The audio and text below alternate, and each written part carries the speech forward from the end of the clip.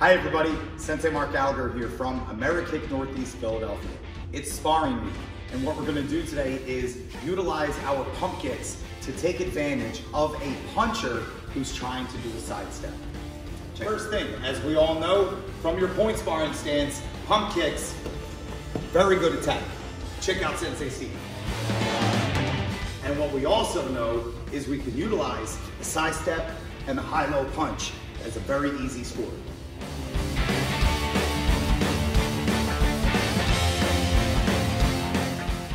But what you're gonna see Sensei Steve do is fake me with the wheel kick chamber and I'm gonna run into a side kick chamber. One, two.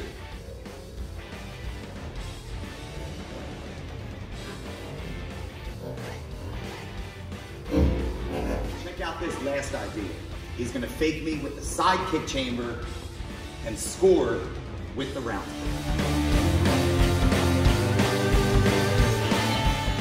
Putting them all together, a good puncher will read your side kick chamber and run behind you. Fake them with the side kick chamber, score with the round. They'll also read the round kick chamber and sometimes run in front of you. Fake them with the round and score with the side. Check out the video, get yourself a partner, and get to practicing. Talk to you soon, everybody. Asa.